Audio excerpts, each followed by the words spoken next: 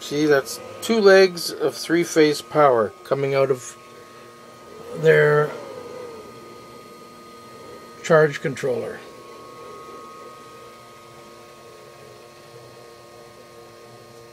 We got a 30 mile an hour wind right now, and it's making nothing for power. Oh, there's a bigger gust. Wow, look at that. I think we're up to... Oh, look at that. Now, why does the ammeter jump around like that? We almost got... We almost peaked at 5 amps there. Oh, look at that. We peaked over 5 amps. Yeah, that's 30 mile an hour wind right there.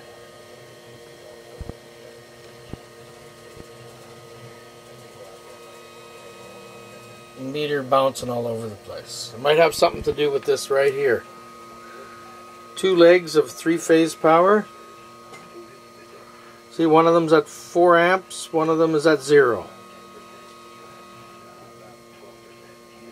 There, that one went up to 5 amps, the other one bouncing around, still at 0.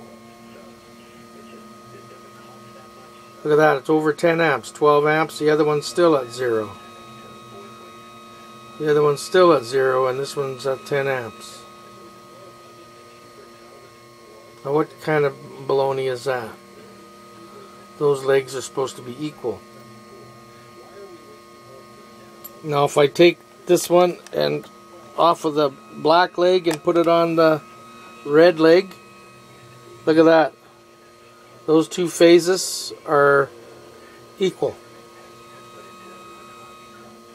See, they both go up together nice. Okay, and they just sit together nice. Not a problem. That's how three-phase power is supposed to work. As soon as I take that off and clip it onto the onto the black leg, I get zitch. Look at that one, buried the needle on that one, and the other one's still dead.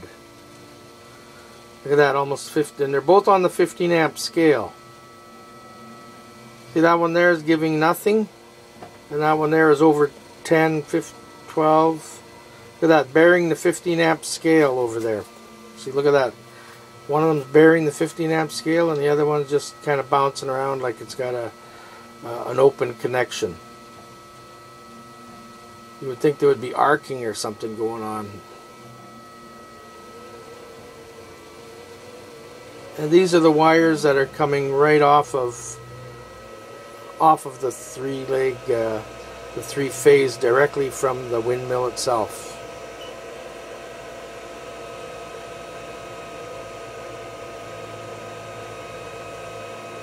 Not uh, I'm not really impressed with uh, these results.